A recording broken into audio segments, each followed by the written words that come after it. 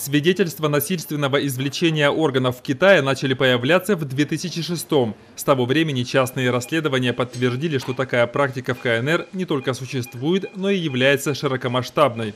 Недавно журналист NTD пообщался с одним из докторов, которые составили петицию обращения к правительству США. Документ призывает Барака Обаму публично осудить преступления по извлечению органов в Китае и помочь их остановить. Эти преступления настолько ужасают, что когда люди впервые о них слышат, им трудно поверить. В 2006 году в США с публичным заявлением выступила жена одного из китайских хирургов. Она рассказала, что ее муж говорил ей о тысячах операций по извлечению роговицы глаза узников совести, которые он проводил. С 2006 года появилось множество доказательств, множество неоспоримых доказательств, которые убедили меня и многих других медицинских специалистов в том, что эти преступления действительно происходят. Министерство здравоохранения Китая заявляет, что большинство органов поступает от приговоренных к смерти заключенных. Но даже по самым грубым оценкам, число казней в Китае намного ниже, чем количество пересаживаемых органов.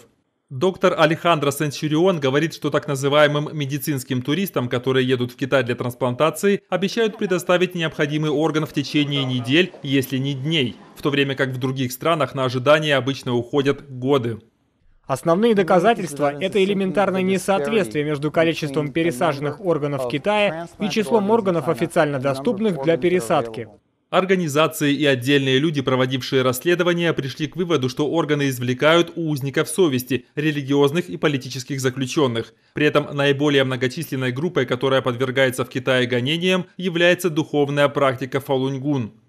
Доктор Сенчурион говорит, что правительство США, скорее всего, располагает информацией об этих преступлениях и что петиция должна заставить Обаму раскрыть эти факты общественности.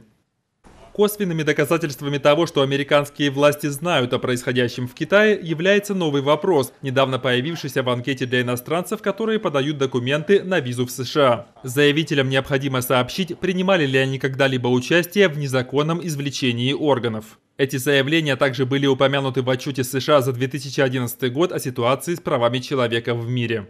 NTD, США.